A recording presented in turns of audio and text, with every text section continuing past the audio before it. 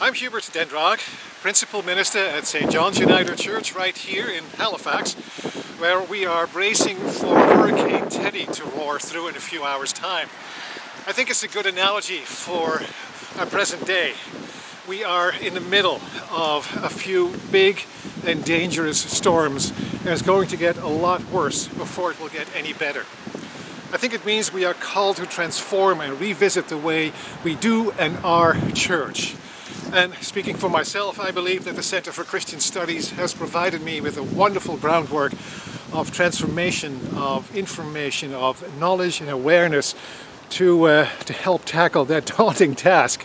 Now, fortunately, I'm not alone in this. I'm in a team ministry with another diaconal minister.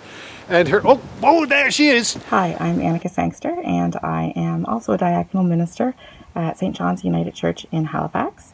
I also attended the Center for Christian Studies, a place that I fully attribute to helping me become um, a confident person and a capable person who understands where they came from and how that has shaped and formed their theology and um, how I interact with people and with churches. And uh, definitely helped me to learn to empower not only myself, but others. Thank you, Annika. Now, let's face the storm and work our way through it in community and faith.